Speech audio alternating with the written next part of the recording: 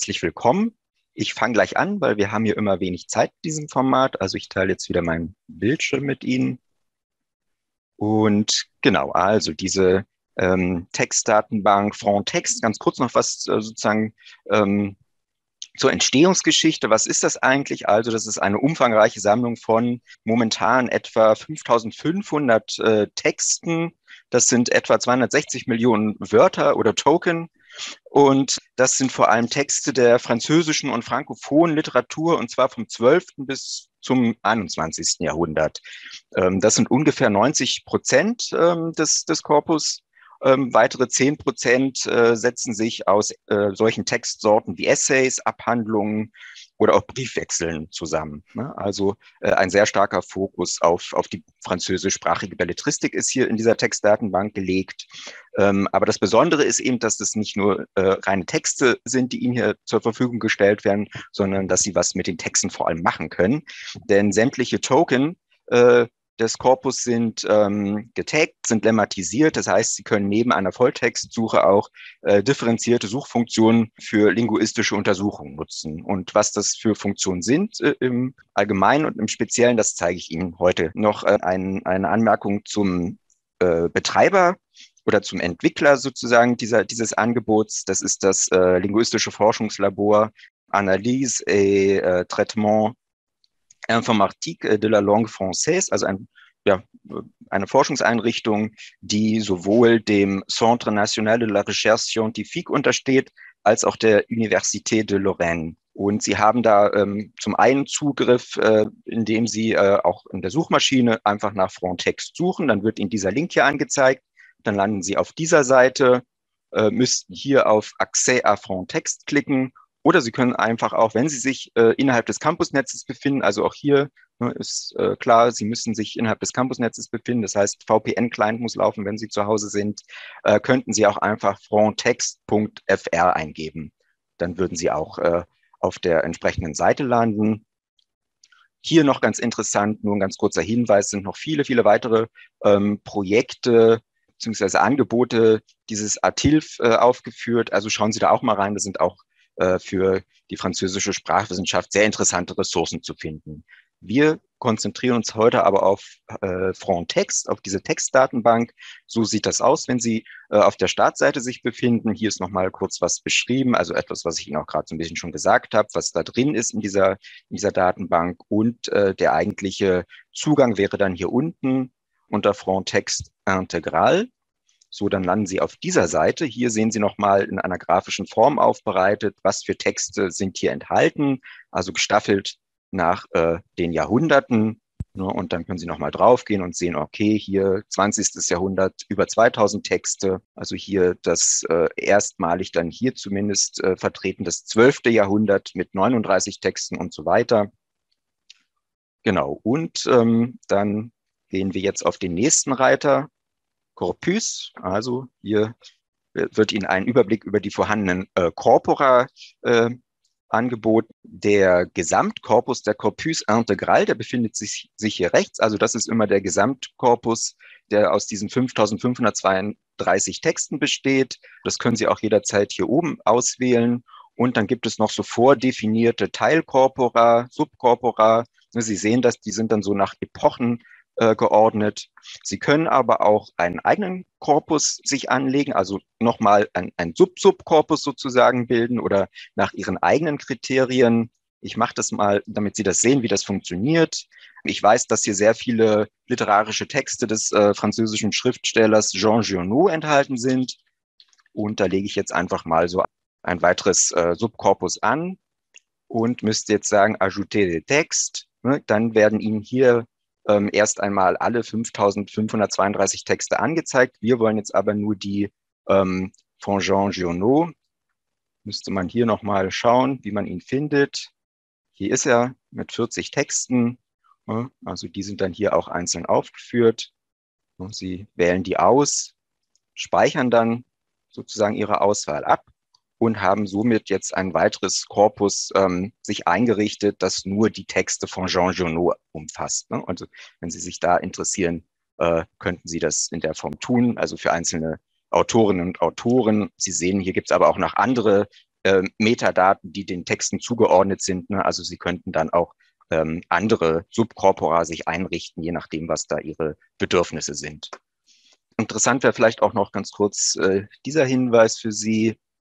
Sie sehen hier auch dann, ob Sie sich den einzelnen Text, der hier in dem, Korp in dem Korpus enthalten ist, herunterladen können. Also da würden Sie dann ähm, hier dieses ähm, kleine Schlosssymbol beachten müssen.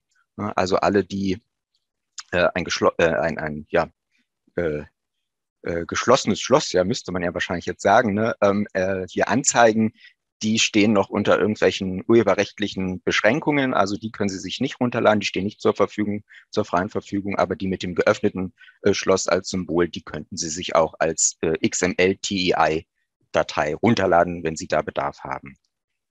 So, dann gehen wir jetzt zu, zum nächsten Reiter, Recherche. Hier gibt es ähm, im Wesentlichen sechs verschiedene Recherchemodi, also Simple, Assisté, Avancé, Sie können nach äh, Frequenzen, nach Auftretenshäufigkeiten suchen und hier äh, Kookurrenzen sich anzeigen lassen. Und dann haben Sie hier noch eine Möglichkeit äh, für eine Suche nach äh, ja, Voisinage, also nach Kollokationen, also unmittelbaren Nachbarschaften von lexikalischen Elementen. Und das zeige ich Ihnen jetzt hier mal beispielhaft jeweils, was Sie da suchen können. Also wir bleiben jetzt hier mal in der einfachen Suche am Anfang und suchen jetzt einfach aufs Gratewohl die Wortform Chevalier. Ne, Sie könnten dann, haben Sie vielleicht gesehen, ich habe es jetzt schon wieder weggeklickt, Groß- und Kleinschreibung und Diakritika, ne, dass das berücksichtigt werden soll. Das könnten Sie noch anklicken. So. Und dann sehen Sie das hier, wie Sie das vielleicht aus anderen Corpora kennen, auch so als Keyword in Kontext, als Konkordanz aufgeführt. Also diese Wortform Chevalier und ähm, ne, Sie sehen, das sind ziemlich viele Treffer, 23.866. Genau, und Sie können hiermit natürlich dann Verschiedenes anstellen. Also zum einen können Sie hier, wenn Sie dieses äh, Lupensymbol anklicken, dann sehen Sie den Text, in dem dieses Keyword in Kontext, ne, also diese Zeile, die Sie ja hier nur angezeigt bekommen, äh, der größere Kontext äh, des literarischen Textes, der wird hier angezeigt Ihnen auf diese Art und Weise. Wenn Sie da oben draufklicken, sehen Sie auch nochmal genau, was der Titel des Werks ist, was zum Autor zu sagen ist, also diese ganzen Metadaten, werden Ihnen hier nochmal angezeigt, wenn Sie das interessiert. Sie können dann auch Texte, die Sie nicht drin haben wollen, hier einfach abwählen. Und genau, dann haben Sie hier ganz verschiedene Möglichkeiten nochmal zu sortieren und zu filtern. Ähm, ich zeige Ihnen jetzt hier einfach nur mal beispielsweise, wenn Sie wissen wollen, wie verteilt sich das so im Laufe der Jahrhunderte. Dann könnten Sie sagen, okay, äh, Anzeige nach äh, Datum und wir wollen das aber auf Jahrhunderte, nicht auf Jahrzehnte aufteilen, ähm, dann bekommen Sie das in dieser Form angezeigt. Vielleicht könnten wir hier dann noch sagen, so aufsteigend die Reihenfolge, dann ist es irgendwie besser für uns erkennbar, was da passiert. Ne? Also Sie sehen äh, hier besonders im 13. Jahrhundert äh, sehr viele äh, Vorkommen von Chevalier als, als Wortform, aber auch sogar hier dann im im ähm, 21. Jahrhundert dann immerhin acht Formen. Ne? Also das ist jetzt hier wirklich so eine reine äh, Anzeige der, der Verteilung dieser Wortform über die Jahrhunderte in den Texten, so wie sie im Korpus abgebildet sind. Ne? Sie können dann, wenn Sie zum zu den vorherigen Schritten zurückkehren wollen, können Sie das immer hier oben machen. Ne? Also dann klicken Sie einfach dann sich immer wieder zurück, landen man hier wieder in dieser Keyword in Kontextanzeige und könnten sich dann hier auch noch zum Beispiel ähm, die syntaktisch oder syntaktisch-morphologischen Kategorien anzeigen lassen. Ja, also da, wenn Sie draufgehen, wird das auch angezeigt. Norm commun zum Beispiel, ja, also so, so eine Gattungsbezeichnung, also ein ganz normales Nomen sozusagen. Ähm, wenn Sie sich dann hier durchklicken, sehen Sie, dass das eben auch äh, als Adjektiv zum Beispiel verwendet wird oder ähm, auch als äh, ich finde jetzt hier gerade kein Beispiel, als Eigenname, doch hier zum Beispiel Chevalier als Eigenname, als Norm propre. Ähm, genau, und wenn Sie da äh, das vielleicht nochmal genauer auseinander äh, dividieren wollen, dann könnten Sie hier zur nächsten Suche übergehen und könnten sagen, hm, also ich will Chevalier jetzt schon ähm, angezeigt bekommen, aber äh, möchte das jetzt mal beschränken, aus welchen Gründen auch immer. Ne? Also wie gesagt, das ist alles nur beispielhaft äh, jetzt nur die äh, Wortform, die als Eigenname fungiert.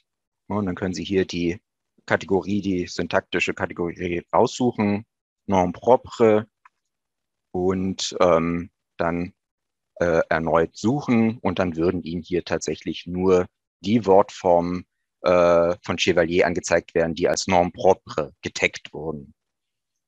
Ähm, Sie haben hier noch viele, viele weitere Möglichkeiten. Ich kann jetzt Ihnen unmöglich alles zeigen. Alles weiß ich wahrscheinlich auch gar nicht, weil es wirklich eine sehr mächtige äh, und komplexe äh, Datenbank ist oder mit sehr komplexen und, und mächtigen Suchmöglichkeiten. Ähm, aber so viel ne, einfach, einfach so als, als Eindruck für Sie, äh, was hier möglich ist. Ähm, Sie könnten hier auch dann in der Recherche Assisté nach Lemmata suchen. Also das ist natürlich ähm, äh, eine sehr gute äh, Option, wenn Sie sich für ein bestimmtes Verb interessieren. Ich mache jetzt hier wirklich auch mal wieder rein, beispielhaft äh, gebe ich ein acheter und ähm, suche dann nach diesem Lemma und Sie sehen, dann werden natürlich äh, sämtliche äh, zu diesem Lemma gehörigen äh, Konjugationsformen angezeigt. Äh, das ist jetzt wiederum äh, hier sehr viel, weil das natürlich auch wieder sich auf das Gesamtkorpus bezieht. Äh, und dann haben Sie hier natürlich jederzeit die Möglichkeit, sich dann auch noch ähm, äh, die entsprechende äh, das entsprechende Korpus sozusagen auszuwählen und sich da, das da anzuzeigen lassen, also wie da das Verhältnis ist. Wir nehmen jetzt mal hier unser ähm, äh, Subkorpus Jean Journaux. Ja, da ist es dann natürlich etwas weniger. Ja, also da könnten Sie dann, ich weiß nicht, ob das so sinnvoll ist, aber äh, untersuchen, wie Jean Giono, welche Formen er vom, vom Verb acheter verwendet oder so. Ne? Aber das äh, ist wirklich ja nur, nur beispielhaft und soll Ihnen illustrieren, was hier möglich ist. Genau, also das ist die ähm, äh, Recherche Assistée. Dann haben Sie hier als äh, weitere Möglichkeit die äh, Recherche Avancée.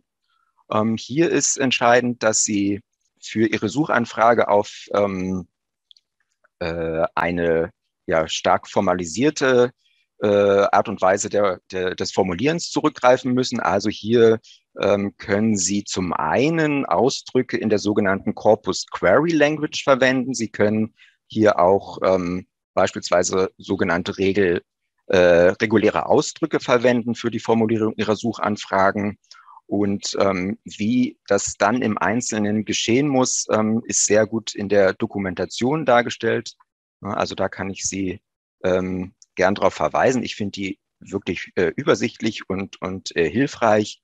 Und da müssten Sie dann, wenn Sie da wirklich jetzt sich dafür interessieren für dieses Thema, also solche Anfragen formulieren möchten, hier einfach mal einarbeiten. Also hier ist es sehr gut beschrieben. Wie gesagt, hier nur damit Sie mal einen Eindruck bekommen, was möglich ist, habe ich Ihnen ja auch dieses äh, Cheat Sheet aufgerufen, wo in Überblicksform die äh, Möglichkeiten für diese ähm, äh, Recherche ähm, avancé aufgeführt sind.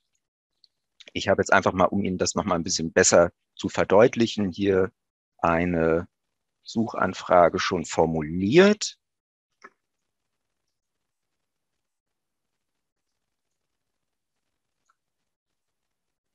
Also ähm, hier, ne, weiß nicht, ob das so sinnvoll ist wiederum, ne, aber wie gesagt, nur als Beispiel. Also jetzt möchte ich wissen, äh, gibt es sozusagen Zeichenketten, auf die Folgendes zutrifft. Ne, also es soll ein, ein äh, Lemma des äh, Possessivpronoms sont, also das es sollen Formen des Possessivpronomens sont, also auch dann die weibliche ça zum Beispiel, ähm, oder des Possessivpronoms mon vorkommen, gefolgt von dem Wort femme, dann eine Form äh, des Verbs être als Copula und dann irgendein Adjektiv. Ne? Also POS ist Part of Speech, also ein Element, das äh, der syntaktischen Klasse, ähm, zu der syntaktischen Klasse Adjektiv gehört. Das soll dann ähm, darauf folgen. Ja, also ähm, damit würde ich dann sozusagen herausfinden können, ähm, wie in literarischen Texten ähm, der Erzähler oder äh, eine literarische Figur über ja, die Frau, die, die Ehefrau spricht oder die Ehefrau eines Dritten, ne, also welche Eigenschaften denen zugeschrieben werden. Und Sie sehen, ne, bei Jean Genot ist das hier ähm, ja, sehr todeslastig, also da ist äh, die Frau tot äh, im Regelfall. Ähm, vielleicht gucken wir uns dann mal den, ähm, Gesamt, das Gesamtkorpus an. Ja, dann ähm, sehen Sie hier auch eben so eine ja, größere Streuung, vielleicht nochmal das 20. Jahrhundert.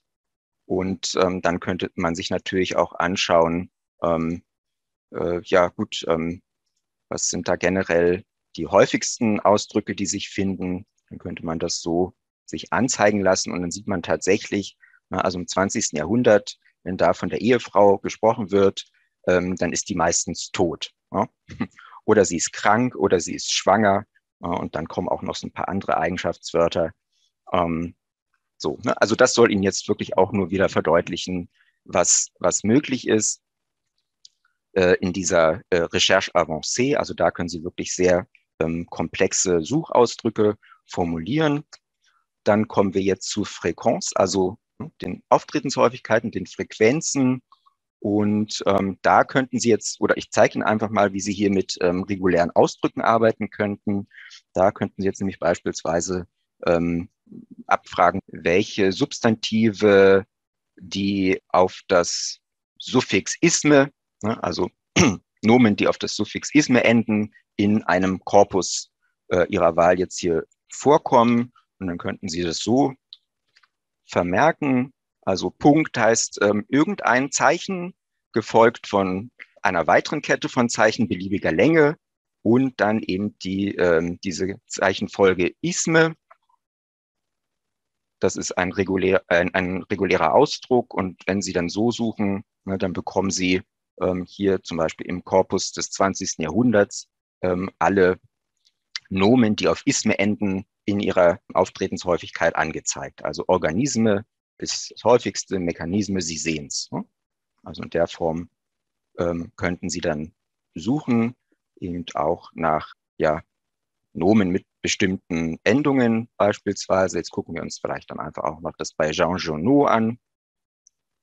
Aha, da ist der Egoisme das häufigste äh, Nomen. Ne? Also so könnte das funktionieren. Frequenz dann haben Sie hier noch Kooccurrence.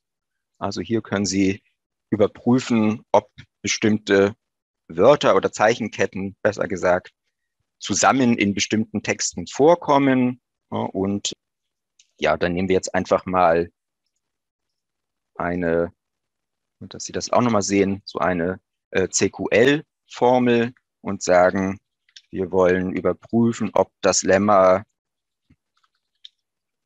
Étudiant zusammen mit ups, dem Lemma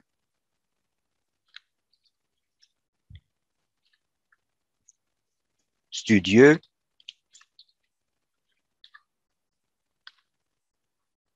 hier vorkommt. Ne, hier unten könnten Sie dann auch noch sagen, ne, die Reihenfolge soll indifferent sein oder eins vor zwei oder eins nach zwei, je nachdem. Ich lasse das jetzt mal so. Habe ich was falsch gemacht? Wahrscheinlich.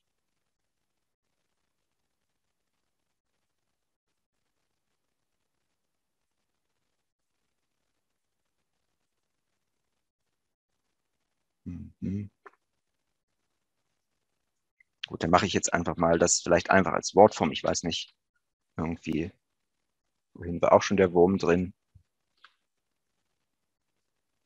So, ich wollte jetzt natürlich dann gleich äh, Plural- und Singularform mit abdecken, aber dann machen wir das jetzt einfach mal so, mal sehen ähm, und sagen einfach Mo.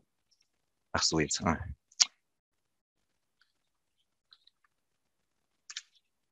Also étudiant, studieux,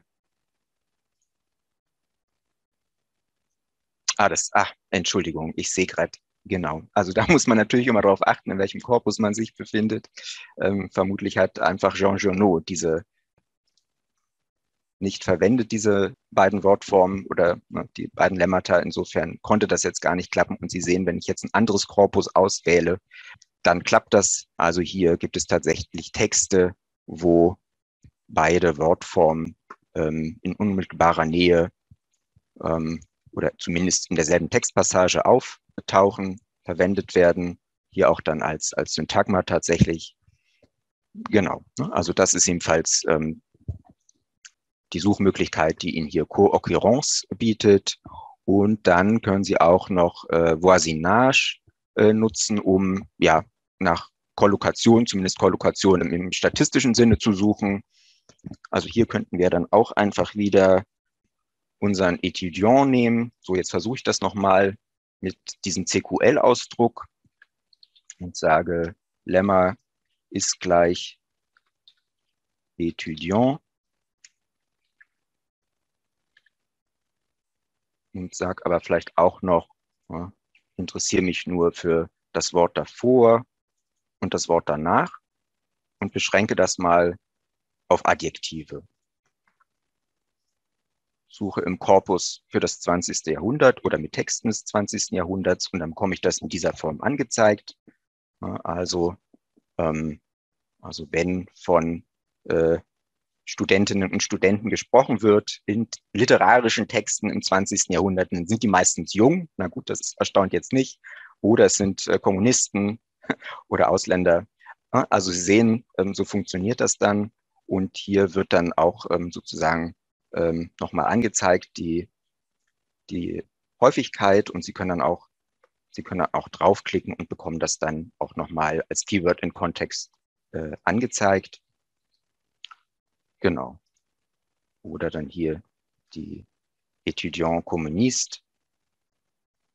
So, also das ist die äh, Voisinage-Option.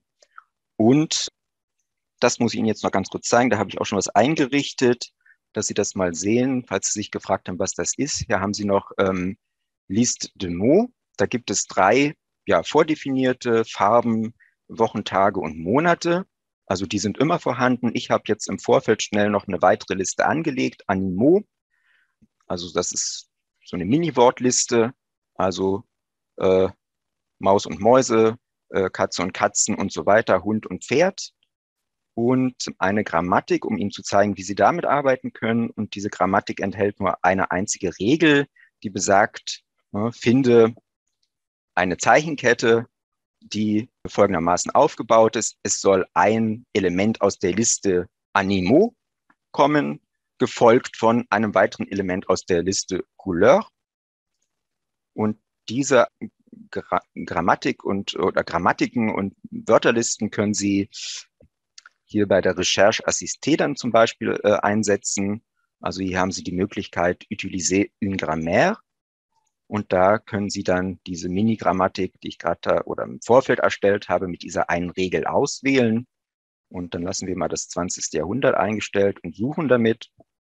Ja, und dann sehen Sie, dass sozusagen das ganz gut funktioniert. Also hier werden jetzt sozusagen Syntagmen gesucht, wo, ne, also entweder Hund, Katze, Pferd oder Maus äh, enthalten ist, als Nomen und dann ein Farbadjektiv.